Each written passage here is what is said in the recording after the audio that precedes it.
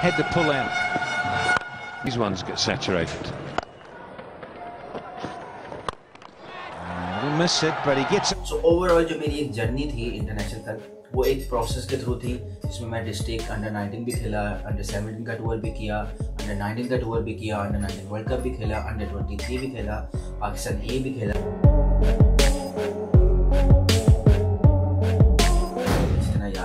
Pakistan India का match नहीं कोई मिस करता था। बाकी मैचेस ठीक है ऑन एंड ऑफ़ आप फॉलो करते होते थे लेकिन पाकिस्तान इंडिया का एक ऐसा वाहिद मैच था, जिसको आप पूरा ball to by ball follow करते हैं कि भाई एक भी बॉल किसी तरीके से मिस ना हो। तो जब उनके खिलाफ मैंने परफॉर्मेंसेस की हैं और ख़ासकर सेंचुरीज की हैं तो कलकत्ता ईडन गार्डन में था। उस वक्त स्पेशली उस ग्राउंड में जितना क्राउड था ना ओ माय गुडनेस वहाँ तक कि मैं आपको ये बताऊँ कि मेरे पास अगर मैं आपसे बात करूँ ना हाँ। तो हमें शाउट करना पड़ा था बाद में। मतलब इतना शोर था। आवाज़ नहीं आती। क्राउड का इतना शोर था। और उस वक्त ये था कि जब हम कोई बाउंड्री करते थे या आउट करते थे तो क्राउड में ऐसी हम सन्नाटा हो जाता था।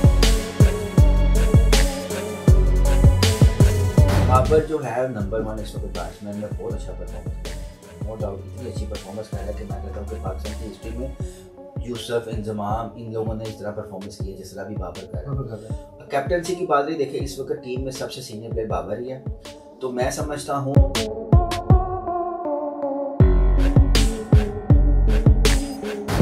असलम नजरीन आप देख रहे हैं यूके सुपर स्पोर्ट्स में हूँ फजाल कियानी। आज हमारे साथ मौजूद हैं पाकिस्तान के टेस्ट क्रिकेटर नासिर जमशेद। नासिर भाई बहुत शुक्रिया टाइम देने का। ਕਿਉਂਕਿ ਦੱਸ ਬਈ ਤੁਹਾਨੂੰ ਪੰਜਾਬੀ ਦੱਸ ਦਈਏ ਕਿ ਤੁਹਾਡੇ ਮਗਰ ਅਸੀਂ ਬੜੇ ਰਹੇ ਹਾਂ ਸਾਨੂੰ ਲੱਭੇ ਨਹੀਂ ਤੁਸੀਂ। ਤੇ ਤੁਹਾਡਾ ਬਹੁਤ ਸ਼ੁਕਰੀਆ ਸਾਨੂੰ ਟਾਈਮ ਦਿੱਤਾ। ਜੀ ਵੈਲਕਮ ਮੋਸਟ पाकिस्तान की तरफ़ से आप आपने 48 ओडीआई खेले तकरीबन अठारह टी ट्वेंटी और दो टेस्ट आपकी ये क्रिकेट की जर्नी कब शुरू हुई देखिए जी सबसे पहले तो ऑब्वियसली जब इंसान क्रिकेट स्टार्ट करता है तो उसका एक प्लान होता है गोल होता है कि यार मैंने इस गोल को अचीव करना है ऑब्वियसली क्योंकि पाकिस्तान में क्रिकेट का बहुत ज़्यादा क्रेज़ है। और लोग बड़े शौक से देखते भी और खेलते भी हैं। लेकिन जब मैंने एक क्रिकेट स्टार्ट की थी तो मेरा यही प्लान था कि मैं इंटरनेशनल लेवल पे खेलूँ। क्योंकि दो नाइन्टी नाइन टू थाउज़ेंड में मैं काफ़ी मतलब यंग था उस वक्त जब मैंने स्टार्ट की थी। लेकिन जब एज ए प्रोफेशनल जब इसको मैंने कन्वर्ट किया अपने प्रोफेशन में 2004 फाइव में मुझे इसी तरह याद है कि मुझे एक नेशनल बैंक में जॉब मिल गई थी क्रिकेट की बेस पे। अच्छा। उस वक्त मेरी salary is about six thousand rupees थी पाकिस्तानी। अच्छा।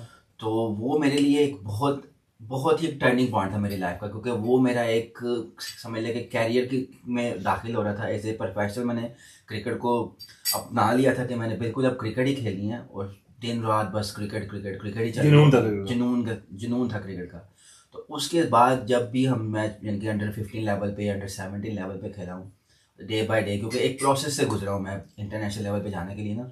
वो प्रोसेस ये था कि पहले हम डिस्ट्रिक्ट खेले डिस्ट्रिक्ट में परफॉर्मेंस की फिर उसके बाद क्योंकि अंडर नाइनटीन लेवल पे आपको एक अपना नाम बनाना पड़ता है। और जब आपका नाम बन जाए तो फिर आपको उसको बरकरार रखने के लिए आपको डिफरेंट लेवल पे परफॉर्मेंसेस करनी पड़ती है। क्योंकि इंग्लैंड में एक टोटली डिफरेंट यहाँ का कल्चर है डिफरेंट लेवल है। यहाँ पे तो अंडर नाइन अंडर नाइन कह लें नाइन एज से लेके तो under ten under eleven under twelve thirteen age groups की काउंटीज़ में ट्रेनिंग चल रही होती है।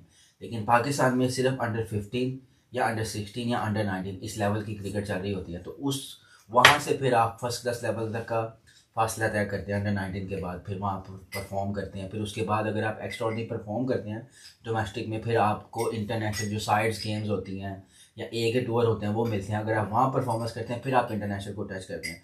सो so, ओवरऑल जो मेरी एक जर्नी थी इंटरनेशनल तक वो एक प्रोसेस के थ्रू थी जिसमें मैं डिस्ट्रिक्ट अंडर नाइनटीन भी खेला अंडर सेवनटीन का टूर भी किया अंडर नाइनटीन का टूर भी किया अंडर नाइनटीन वर्ल्ड कप भी खेला अंडर ट्वेंटी थ्री भी खेला पाकिस्तान ए भी खेला साइड गेम्स भी खेला। तो ओवरऑल बड़ी बहुत ही दिलचस्प और बड़ी एक कह लें कि टर्न बाय टर्न हर एज ग्रुप में खेलता गया और उसको मैंने इंटरनेशनल लेवल पे जाके हासिल किया। और ज़ाहिर सी बात है जो इंसान जब एक ख्वाब के बारे में सोचता है और जब उसको अचीव करता है मुझे इसी तरह याद है ये मैं आपके साथ यहाँ पे भी शेयर करूँगा। फ़र्स्ट टाइम जब मुझे पाकिस्तान क्रिकेट, क्योंकि उस वक्त हमें ना पाकिस्तान की जब आप टीम में आते हैं तो आपको उसी पाकिस्तान कलर्स जो किट्स हैं, वो ट्रेनिंग किट्स और मैच किट्स वगैरह मिलती हैं। तो पीसी होटल में, कराची में, क्योंकि मेरा debut two thousand eight Karachi में हुआ था तो पाकिस्तान का कलर जब बोला क्योंकि जूनियर लेवल पे आपको कलर मिलता है, लेकिन उसके में स्टार्स के साथ आपके साथ लिखा होता है कि पाकिस्तान जूनियर नाइनटीन उसकी जो मतलब जो खुशी है ना, वो अल्फाज में नहीं बयान की वो ऐसा था कि पीसी होटल में था शाम का टाइम था around six seven o'clock तो वो मैनेजर जो थे उनका बंदा आया मुझे उसने बैग पकड़ाया उसमें सारी किट्स वगैरह थी। अच्छा। वो ऐसे लम्हात थे कि मैंने उस वक्त वो शर्ट्स निकाली हैं। अच्छा। पहन के शर्ट्स और पूरी किट पहन के तो मैं अपने आप को शीशे में मतलब उतना इंसान देखता है कि यार मैं कैसा लग कैसा रहा लग हूँ? कलर है पाकिस्तान का कलर है ये मैं पहनूँगा। मेरी फिटनेस मतलब इसमें कैसी लग रही है? मैं क्या लग रहा है? ये कलर है और वो मुझे इस तरह दिन याद है कि मेरी आँखों में पानी आ गया था उस वक्त। और स्टेट पे मैंने अपने घर वालों को फ़ोन किया उनसे बात की कि मुझे पाकिस्तान की कलर किट मिली है और इंशाल्लाह मुझे क्योंकि शुएब मलिक कमरे में आ गया था रात के टाइम शाम के टाइम कैप्टन थे वो। तो उन्होंने मुझे आगे कहा कि मुबारक हो अपने घर वालों को भी मुबारक दो कि तुम सुबह मैच खेल रहे हो। दो हज़ार आठ में? 2008 में। क्योंकि नेक्स्ट डे जिम्बाब्वे। के खिलाफ हमारा वनडे मैच था कराची में। तो एक दिन पहले ही उन्होंने मुझे बता दिया था कि आप डेब्यू कर रहे हो। वो पूरी एक मतलब कल की रात ऐसी थी सो नहीं मैं पाए। सो नहीं पाया प्रॉपर खुशी से। खुशी से हाँ वो यही था कि किट इवन यहाँ तक कि मुझे याद है मैंने ट्रेनिंग किट ही पहनी हुई थी। अच्छा। ट्रेनिंग शर्ट पहनी हुई थी और साथ में वो शॉर्ट्स थी वो पहन के तो मैं अपने आप को देख रहा था और मैं उसी में ही सोया हूँ कि मैं मतलब वो मेरा एक ड्रीम जो ख्वाब था वो पूरा हुआ हुआ, तो वो वो जो लम्हा थे वो जो टाइमिंग था वो मैं कहता हूँ कि किस तरह वापस आ जाए लेकिन ओबियसली वापस तो नहीं आ सकता लेकिन यादें तो यादगार रह सकता है यादें वापस आ जाती हैं बिल्कुल। अरे भाई कोई ऐसी इनिंग जैसे पता है हर इनिंग की आपको ये बोर्ड होती है पाकिस्तान से खेलते हैं तो ऐसी कोई इनिंग कोई ऐसा मैच स्पेशली जितने भी हमारे व्यूअर्स देख रहे हैं आपको पता है कि अगेंस्ट इंडिया के आप परफॉर्म करें ना तो बंदे आपके फैंस कभी भी नहीं भूल सकते जब क्रिकेट से लव करते हैं। स्पेशली आपने मतलब तीन सेंचुरी इंडिया के अगेंस्ट की बैक टू बैक तो वो कैसा वो उस वक्त कैसी फीलिंग थी? स्पेशली जब इंडिया के आपने हंड्रेड तीन बार किए नहीं देखें इंडिया का वाकई जैसे पूरे ओवरऑल पूरे मुल्क में इवन जब हम छोटे भी थे तो हमें तरह याद है कि पाकिस्तान इंडिया का मैच नहीं कोई मिस करता था। बाकी मैचेस ठीक है ऑन एंड ऑफ़ आप फॉलो कर रहे होते थे लेकिन पाकिस्तान इंडिया का एक ऐसा वाहिद मैच था कि जिसको आप पूरा ball to by ball follow करते हैं कि भाई एक भी बॉल किसी तरीके से मिस ना हो। तो जब उनके खिलाफ मैंने परफॉर्मेंसेस की हैं और ख़ासकर सेंचुरीज की हैं तो मुझे नहीं मालूम कि मुझे कहाँ कहाँ से फ़ोन आए हैं कहाँ कहाँ से मुबारकबाद आई हैं। और वो मेरे लिए बेस्ट लम्हात थे क्योंकि वो ऐसी सीरीज़ थी क्योंकि काफ़ी देर के बाद पाकिस्तान इंडिया की बायोलेटरल सीरीज़ थी। और उससे पहले हम एशिया कप में इंडिया के खिलाफ खेले थे और हारे थे उस मैच में भी मैंने हंड्रेड किया था। मेरी और हफीज़ की बेस्ट पार्टनरशिप हुई थी मोहम्मद हफीज़ की। Two hundred and twenty four Asia की सबसे बड़ी पार्टनरशिप हुई थी एज ए ओपनर तो उसके बाद हमारी ये नेक्स्ट सीरीज़ थी तो हम इंडिया में गए क्योंकि वहाँ पे भी काफ़ी मीडिया में आ रहा था जी के उन्होंने एड्स भी बनाए कि आने दो देख लेंगे। हाँ, इस तरह की काफ़ी चीज़ें चल रही थी। तो ओबियसली हमारे पे भी काफ़ी प्रेशर था क्योंकि पाकिस्तान इंडिया की सीरीज़ है। तो पहले मैच में भी जब मैंने सेंचुरी किया हम क्योंकि पहले मैच मुझे अच्छी तरह याद है हम चेस कर रहे थे। मेरे सामने से हफीज़ भी आउट हो गया। अजहर अली नंबर तीन पे आया बैटिंग यूनस मेरी और यूनस भाई की पार्टनरशिप बड़ी अच्छी गई। यूनस भाई फिफ्टी पे आउट हो गया और मैं खेल रहा था मुझे बाहर अंदर से मैसेज भी आ रहे थे कैप्टन के कोच के कि स्टे करना है एंड तक जाना है एंड तक जाना है और हम match finish करके आना मैच फिनिश करके आना है। और मेरी भी पूरी यही कोशिश थी उस वक्त कि मैं जितना लंबा मैच टीम के लिए खेल सकूँ क्योंकि जब आप खेल रहे होते हैं तो आप ये नहीं सोचते कि आपने स्कोर करना है। आपने ये सोचना यार मैंने अपनी टीम को जिताना है। जिताना है। और उसी फ्लो में आप अपनी शॉट्स भी खेलते हैं आप उसी मोमेंटम से आप खेल रहे होते हैं। और अल्लाह का शुक्र है कि उस मैच में भी मुझे अल्लाह ने ज़रिए सेंचुरी की। फिर उसके बाद नेक्स्ट मैच हमारा कलकत्ता ईडन गार्डन में था। उस वक्त स्पेशली उस ग्राउंड में जितना क्राउड था ना ओ माय गुडनेस वहाँ तक कि मैं आपको ये बताऊँ कि मेरे पास अगर मैं आपसे बात करूँ ना हाँ। तो हमें शाउट करना पड़ा था बात करने के लिए इतना शोर था आवाज़ नहीं आती क्राउड का इतना शोर था। और उस वक्त ये था कि जब हम कोई बाउंड्री करते थे या आउट करते थे तो क्राउड में ऐसी हम सन्नाटा हो जाता था। और जब इंडिया वाले कोई परफॉर्म करता था या बाउंड्री लगती थी तो ऐसे शोर आता था कि जैसे पता नहीं हम किस किस मुल्क में आके मतलब क्या क्रिकेट खेल रहे हैं लेकिन वो वो वो सिनारियो ही और था। वो मैं वो सारा सिनारियो वो एटमोसफेयर ही इतना डिफरेंट था। आई थिंक मेरी बेस्ट इनिंग वही थी जो मैंने कलकत्ता ईडन गार्डन में 112 रन किए थे ना। वो inning है। वो बेस्ट इनिंग थी। उसके अलावा एक और इनिंग है जिसको मैं यहाँ पे बिल्कुल करूँगा डिस्क्राइब क्योंकि अबू धाबी में हम ऑस्ट्रेलिया के खिलाफ सीरीज़ खेल रहे थे। तो हमने two hundred and forty something या फिफ्टी समथिंग चेस करना था उसमें मैं नाइन्टी सेवन पे आउट हुआ था। तो वो मेरी इनिंग भी एक यादगार इनिंग जिसको कह सकते हैं क्योंकि वो इनिंग्स ऐसी थी कि वो मेरी कम बॉलों पे ज़्यादा रन थे। और ऑस्ट्रेलिया जैसी बॉलिंग मज़बूत बॉलिंग उस उस वक्त कमिंस भी खेल रहा था स्टार्क भी खेल रहा था और मैक्सवेल भी था तो उन पर अच्छी टीम थी उसमें। अच्छी और बड़ी बड़ी टीम थी तो उनके खिलाफ भी परफॉर्म करना एक बड़ी हौसले की बात होती है। मुझे अच्छी तरह याद है कि जब मैंने उनके खिलाफ परफॉर्म किया था तो उनका जो पैट कमिंस है और स्टार्क है तो उसने मुझे मेरे शोल्डर पे मतलब हाथ, क्योंकि मैं बिल्कुल छोटा सा था तो उसने मुझे हाथ रखेगा था well played keep it up आपने बताया कि अगेंस्ट ऑस्ट्रेलिया या अगेंस्ट इंडिया आपने जो परफॉर्म किया वो आपके यादगार लम्हा थे। तो मतलब भाई, जो यूके की क्रिकेट और पाकिस्तान की क्रिकेट क्योंकि आपने तकरीबन मुख्तलिफ़ कंट्री में जाके पाकिस्तान के लिए पाकिस्तान के लिए खेले हर जगह। लेकिन यूके की क्रिकेट या यूके का जो स्टैंडर्ड है जिस इंटरनेशनल लेवल में बात कर रहा हूँ या पाकिस्तान हमारा इसमें क्या डिफरेंस आपने देखा है?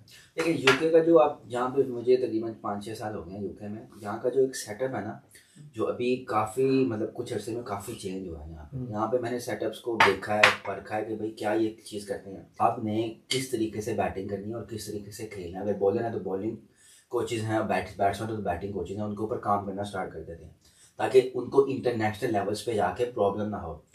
वही चीज़ें क्योंकि मैंने यहाँ अपना एक्सपीरियंस किया हुआ जो हमने अंडर नाइनटीन लेवल्स पे या अंडर सिक्सटीन लेवल पे चीज़ें सीखी हैं वो यूके में under nine under ten under eleven age से इनको स्लोली स्लोली ग्रूम करना शुरू कर देते हैं जिसको ताकि इनको इंटरनेशनल में प्रॉब्लम ना और और फर्स्टली ये कि जो यहाँ पे विंटर में ऑब्वियसली कोई क्रिकेट है नहीं।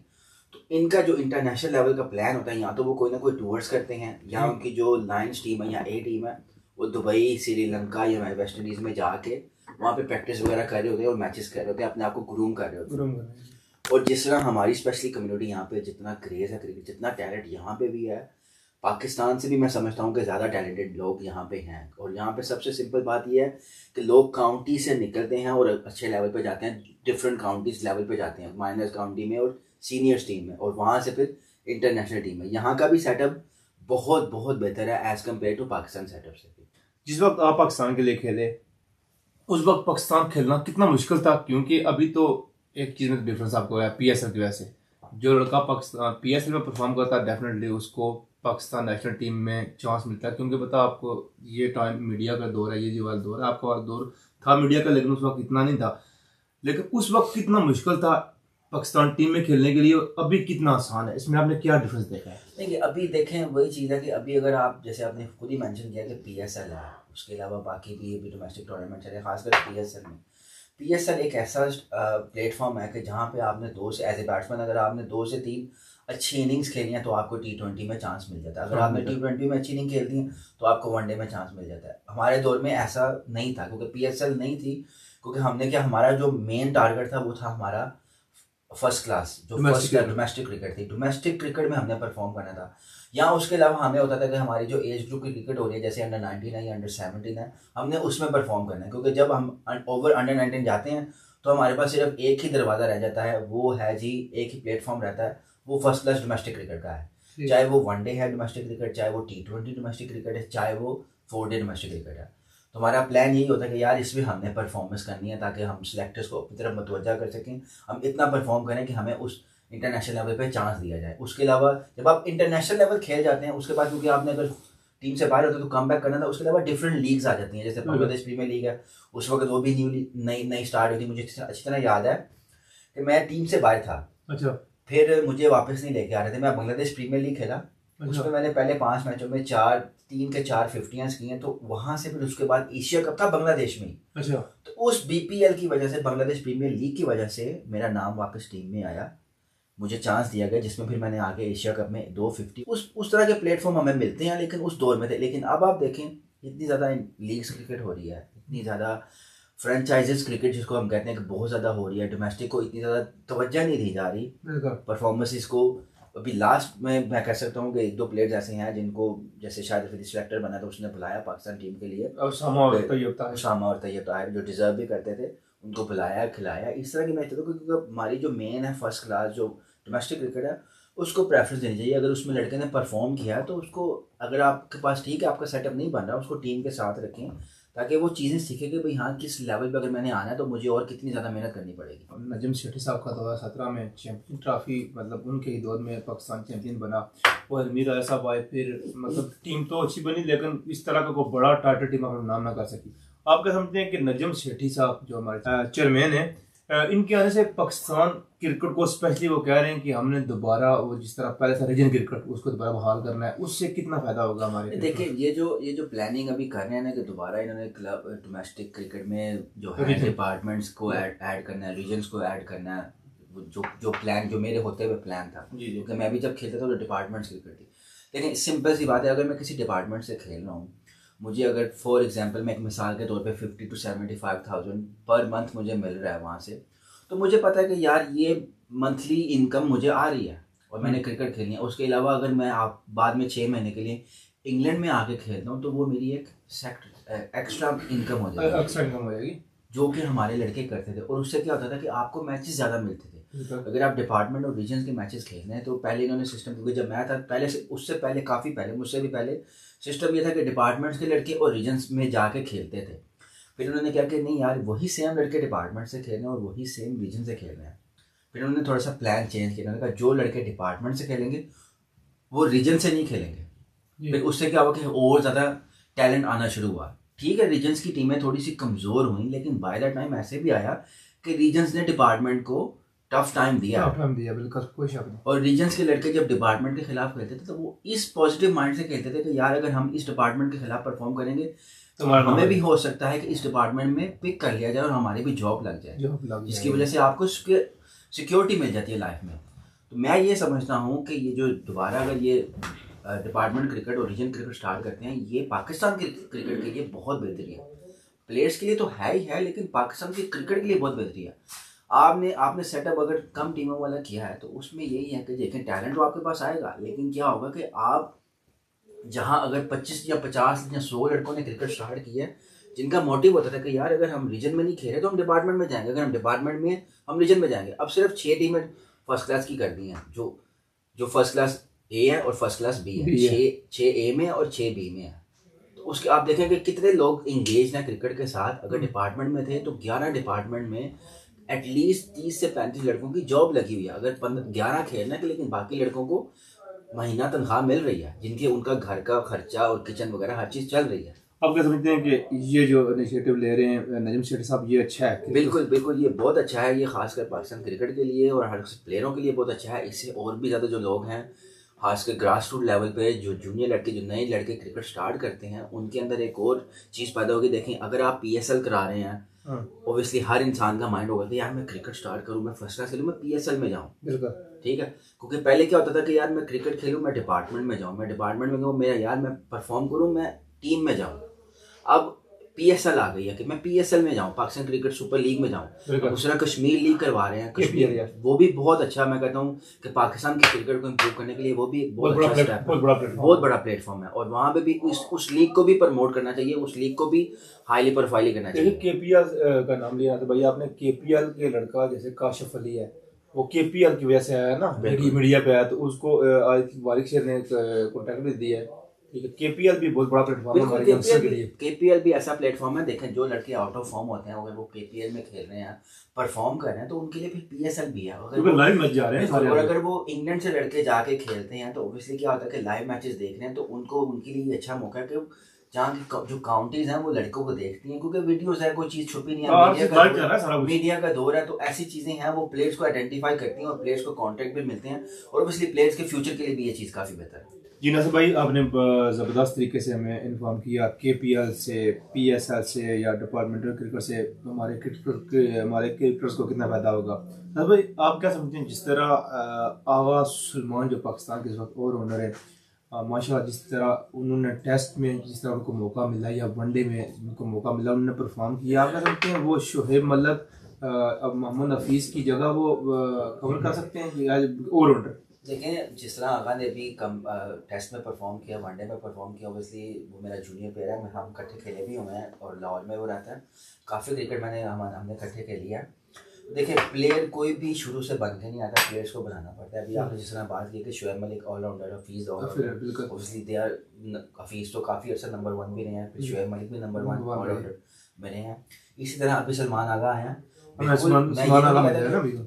बिल्कुल वो उनकी उनकी जगह मतलब कवर कर सकते हैं। आप देखें आपको ऑलराउंडर अच्छा ऑलराउंडर चाहिए पाकिस्तानी टीम डेफिनेटली और खासकर आजकल जिस तरह की क्रिकेट चल रही है ऑलराउंडर्स की ज़्यादा डिमांड है। आपके पास आपके पास ऑप्शंस आ जाती हैं कि आपको ऐसा बॉलर होता है कि अगर आप स्लो ट्रैक्स हैं तो आप स्पिनर्स के तीन चार पाँच ओवर अगर आपके मेन बॉलर्स को मार पड़ रही है तो आप अपने पार्ट टाइम बॉलर्स को या जो ऑलराउंडर्स हैं उनके ओवर्स करा के आप मोमेंटम चेंज कर सकते हैं। तो मैं समझता हूँ कि ये सलमान अली आगा जो है ये पाकिस्तान के लिए एक बहुत ही ऐसा एसेड है कि वो आपको किसी भी जगह पे किसी भी ऑप्शन में यूज़ कर सकते हैं। क्योंकि तो आप उसको नंबर फाइव पे भी बैटिंग करवा सकते हैं नंबर सिक्स पे भी करवा सकते हैं और आप उसको टॉप ऑर्डर में भी यूज़ कर सकते हैं। तो मेरा ये मानना है कि वो आने वाले टाइम में बहुत अच्छा ऑलराउंडर साबित हो सकता है अगर उसको सही तरीके से यूज़ किया जाए। मतलब आप ये भी कहना कि तीनों फॉर्मेट में क्योंकि वो टेस्ट में बड़ा अच्छा करता है। बिल्कुल तीनों फॉर्मेट में कर सकते हैं। टेस्ट में तो उसने परफॉर्म किया है। किया वनडे में भी वनडे में टी ट्वेंटी में वही है कि जैसे आपको बताया कि ऑलराउंडर है मोहम्मद नवाज़ है जिसने अपना नाम बनाया जिस तरह वो कर रहा है परफॉर्म कर रहा है। क्यों कर रहे हैं? क्योंकि ऑलराउंडर है। इस तरह आप ऑलराउंडर ऐड करेंगे तो आपका जारी बात है बैटिंग लाइनत भी लंबी हो जाती है और आपके पास बॉलिंग ऑप्शन भी आ जाती है। तो कप्तान के पास क्या होता है? सोचने का मौका आ जाता है कि यार मेरे पास ये भी बॉलिंग ऑप्शन है, मेरे पास ये भी बॉलिंग ऑप्शन है बॉलिंग में ये भी ऑप्शन है और बैटिंग में भी ये ऑप्शन है।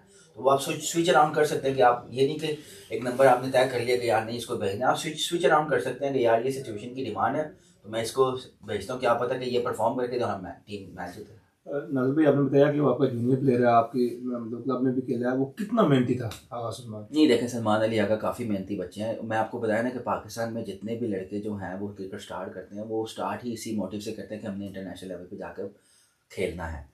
और उसके लिए उनको खासकर जब वो इंटरनेशनल प्लेयर्स के साथ मिलते हैं, जो अचीव किया होता है, उनको आइडिया होता है कि हमने कितनी मेहनत करनी है। हमने किस तरीके से चलना है। और वो शुरू से ही बहुत मेहनती है। खासकर उसने अपनी क्लब क्रिकेट में बहुत टाइम दिया है, जहाँ से उसने बहुत कुछ सीखा है। ये मैं कहूँगा क्योंकि क्लब क्रिकेट जो है पाकिस्तान में एक प्लेयर को बनाने में बहुत अहम किरदार अदा कर दिया फिर उसने रीजन में आकर परफॉर्मेंस की है। अभी जो टीम बनी है फ़र्स्ट डोमेस्टिक क्योंकि मैं डोमेस्टिक भी फॉलो कर रहा था, उसमें भी काफ़ी परफॉर्म किया। फिर उसको एक प्लेटफॉर्म मिला पी एस एल का। पी एस एल में इतना खासा परफॉर्म तो नहीं किया, लेकिन एक दो ऐसी इनिंग्स थी जिसने अच्छी खेली है। लेकिन जैसे ही उसको मौका मिला है डोमेस्टिक में परफॉर्म करके टेस्ट का मौका मिला फिर उसने टेस्ट में प्रूव किया कि वो एक अच्छा बैट्समैन और खासकर नंबर सेवन सिक्स सेवन पे बैटिंग जाके हंड्रेड मारना। स्पेशली टेल एंडर्स के साथ बहुत मुश्किल है। हम कहते हैं कि नहीं यार, ये आसान है, लेकिन एज ए बैट्समैन अगर मैं आपसे एज ए क्रिकेटर आपसे शेयर करूँ, ये आसान नहीं है, क्योंकि टेलेंडर्स आपको पता होता है कि यार, किसी टाइम भी आप बैट्समैन सामने हो तो आप अपनी नॉर्मल इनिंग खेलने, जब आप टेलेंडर सामने हो तो आपने रन भी करने हैं, आपने विकेट भी नहीं जाने देनी, और आपने दूसरे को भी सामने नहीं आने देना। कोशिश होती है कि मैं खुद से खुद ज़्यादा से ज़्यादा खेलूँ। अच्छा भाई, जिस तरह अभी पाकिस्तान मीडिया में बहुत बात चल रही है कि अपना बाबर कोई शक नहीं दुनिया के नंबर वन बैट्समैन है आप कह सकते हैं वो कप्तान कैसे हैं? पाकिस्तान के देखिए बाबर जो है नंबर वन इस वक्त बैट्समैन में बहुत अच्छा परफॉर्मेंस कर रहे हैं। नो डाउट इतनी अच्छी परफॉर्मेंस कर रहा है कि मैं कहता हूँ कि पाकिस्तान की हिस्ट्री में यूसफ इंजमाम इन लोगों ने इस तरह परफॉर्मेंस की है जिस तरह भी बाबर कर रहा है। कैप्टनसी की बात देखिए इस वक्त टीम में सबसे सीनियर प्लेयर बाबर ही है। तो मैं समझता हूँ कि यहाँ तो उसको थोड़ा लंबा टेन्योर दिया जाए कैप्टनसी में खासकर वनडे में क्योंकि अभी वर्ल्ड कप आ रहा है अभी चेंजिंग करने का इतना फ़ायदा नहीं है। प्रेशर आप वर्ल्ड कप पे फोकस करें और इस वक्त बाबर को ही जो है कप्तान रहने दें चलने दें कप्तान ताकि फ्यूचर में जाके आफ्टर वर्ल्ड कप आप उसको कुछ प्लान कर सकते हैं लेकिन अभी तक उसको मैं मेरा जो अपना मानना है कि उसको टीम तैयार करने दें वर्ल्ड कप के लिए क्योंकि अगर आप अभी कैप्टनसी चेंज करेंगे तो काफ़ी चीज़ें चेंज हो जाएँगी। चेंज हो जाएँगी।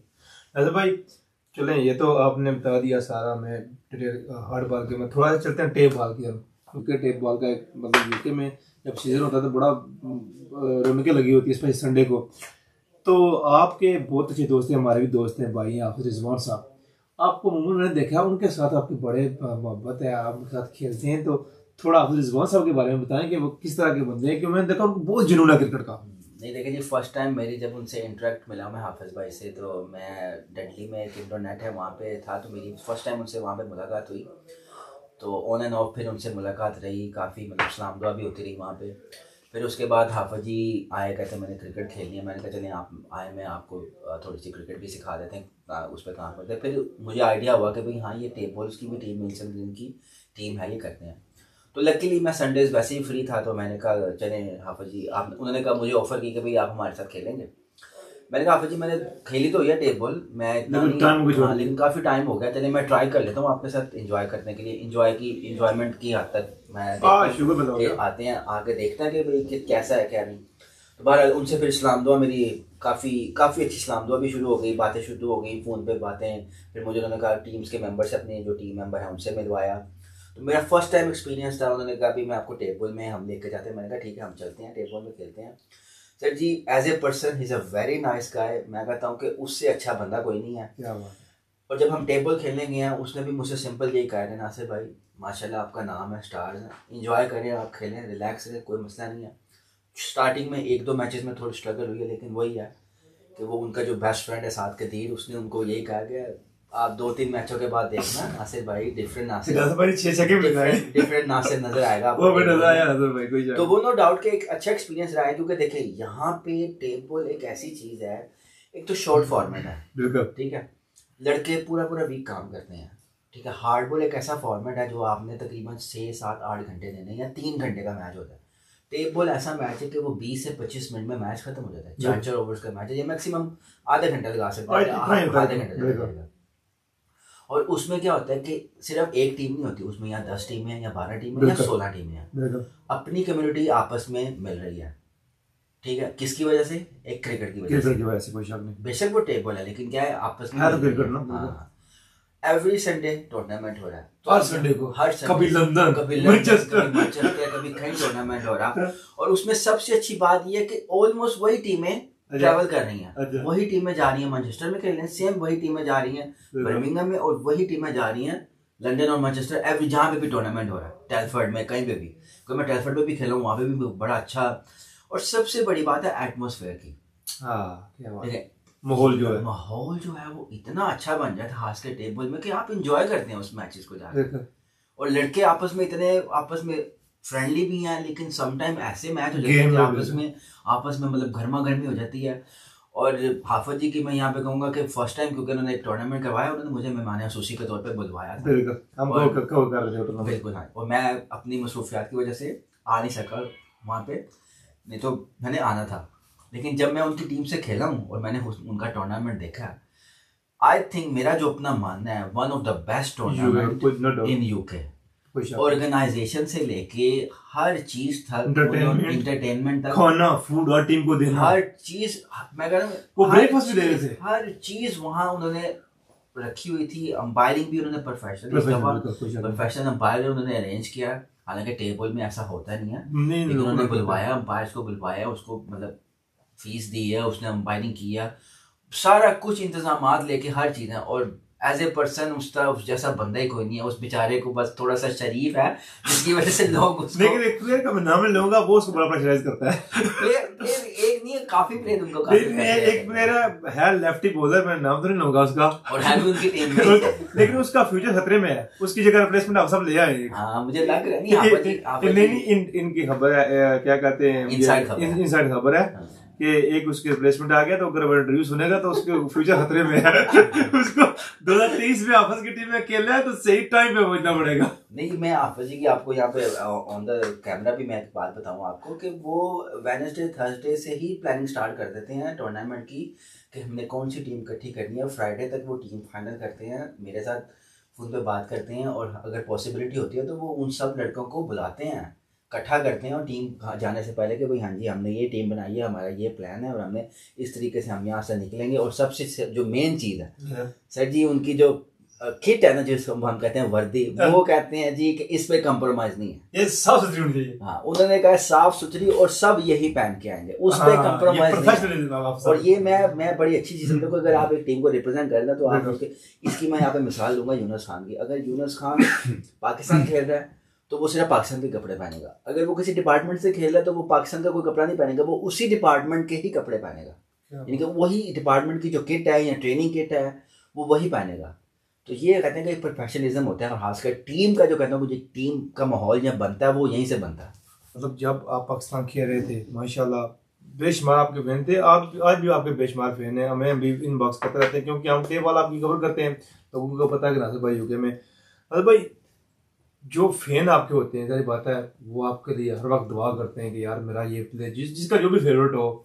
तो फ़ैन एक प्लेयर की ज़िंदगी में कितने इंपॉर्टेंट है? देखें अब जब आप खेल रहे होते हैं मैचेस खेल रहे हैं या इंटरनेशनल लेवल पे खेलते हैं तो ओबियसली ये फैंस ही जो हैं जो आपको ज़िंदा रखते हैं ये फैंस ही हैं अगर आप परफॉर्म करते हैं तो ये फैंस ही जो हैं आपकी इन इनकी वजह से आप पहचाने जाते हैं। कोई बेशक क्रिकेट आप खेल रहे हैं क्रिकेट देखें आप क्लब लेवल पे भी खेलेंगे। वहाँ पे तो आपको कोई भी नहीं देख रहा लेकिन जब आप किसी लेवल पे जाकर क्रिकेट खेल रहे हैं तो वो फ़ैन ही हैं। उन फ़ैन की दुआओं की वजह से ही उन फैंस की वजह से ही इंसान जो है वो ऊपर भी जाता है वो नीचे भी जाता है। मेरा जहाँ तक मामला है कि अगर आप के फैंस आपके साथ हैं और आपको सपोर्ट कर रहे हैं तो आप हर चीज़ अचीव कर सकते हैं। और फैंस का जो है ना स्पोर्ट जो है खासकर प्लेयर के लिए वो बहुत ज़रूरी है।